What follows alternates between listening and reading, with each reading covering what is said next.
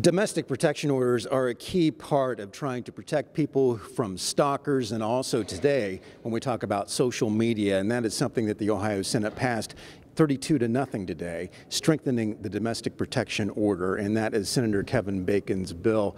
Why is it so important? And let's step back for just a minute. What does your legislation do to strengthen this? It's very simple. Uh, defendants are avoiding service of protection orders. They're hiding inside when someone's knocking at the door.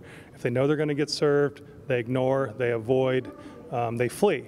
So, in situations where they know there's a protection order, they have what is called actual notice of the protection order, and the prosecutor proves that they recklessly violated its terms, they're going to be deemed to have been served with the order. So they can no longer escape it, um, with, which is really a legal loophole. So almost as long as it's issued, then it's in effect and they should not be within a certain distance or a certain area of whoever the person, uh, whoever the order protects. Each protection order is, a, is, is on a case-by-case -case basis. Upon it being issued, it won't necessarily take effect, but if they have actual notice, and that could mean many different, you could have many different examples, but let's just have one example in State v. Smith, which was the Supreme Court case that started right here in Columbus.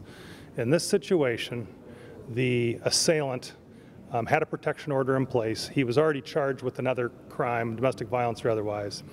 And he goes to the victim's household and she shows him the order and says, I have a protection order in place. You must leave my property.